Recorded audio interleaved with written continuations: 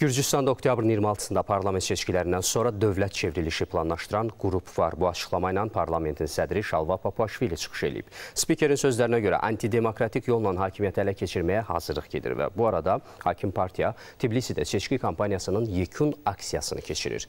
İndi biz Gürcüstanın paytaxtına bağlanırıq. Ətraflı məlumatı xüsusi müxbirimiz Ruslan Həsənov bizə çatdıracaq. Ruslan, sizi də salamlayırıq. Söz sizdədir, buyurun.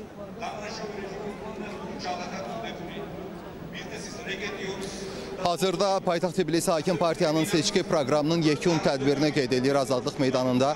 Aksiya Tbilisi meri Kaxa Kaladzenin çıxışı ilə başladı. Daha sonra Gürcü Arzu Partiyasının sədri İrakli Qaribaşvili çıxış etdi. Bilirsiniz ki, Tbilisinin bir sıra küçə və prospektlərində nəqliyyatın hərəkəti məhdudlaşdırılmışdı. İnsanlar artıq günorta saatlarından Azadlıq meydanına axın etməyə başlamışdı. Hazırda gördüyünüz kimi Azadlıq meydanında qələbəlik müşahidə olunur. Hakim Partiyanın rəsmi dairələri idarələri xalqla görüşünü keçirir. Bu arada mühüm bir xəbəri də diqqətinizə çatdırmaq istəyirəm və e, bilirsiniz ki, e, hakim e, partiyanın rəsmi dairələri də dəfələrlə açıqlama vermişdi ki, Gürcüstanda seçkidən sonra çevriliş planlaşdırılır və bu barədə Gürcü Arzusu Partiyasının qərargahında brifing keçirildi və brifinqdə də parlamentin spikeri Şalva Papuaşvili Gürcü Arzusunun mərkəzi qərargahında keçirdiyi brifinqdə dedi ki, bütün əlamətlər onu göstərir ki, ölkədə, ölkədə dövlət çevrilişinə hazırlaşan qrup mövcuddur. O belə planların 2020-ci ildə keçirilmiş parlament seçkilərindən sonra da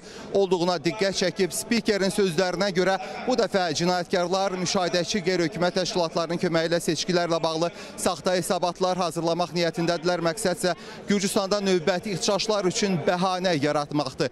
Antidemokratik yolla hakimiyyət ələ keçirməyə hazırlıq gedir və yerli müşahidə təşkilatları bu prosesə cəlb olunub deyə Şalva Papuaşvili ilə vurğuladı. Bu kimi xəbərlər artıq e, günlərdir ki, Gürcüstan gündəmini zəbt edib, amma ab-havadan da gördüyünüz bu ab-havadan da hiss olunur ki, çoxlu hakimiyyəti və onun siyasətini dəstəkləyir və Gürcüstanda parlament seçkilərinə iki gün qalmış keçirilən ictimai rey sorğusunun nəticələri də bunu belə deməyə əsas verir. Beləliklə, bu növbəti sorğuda da hakim partiya liderini qoruyub. Qeyd edim ki, sorğu Benhaq Savanta qrup tərəfindən e, media azadlığı fondunun sifarişi ilə keçirilib. Tbilisidən təqdim edəcəklərimiz bunlar idi. Buyurun, söz sizdədir. Ruslan, çox sağ olun məlumat üçün. Təşəkkür edirik.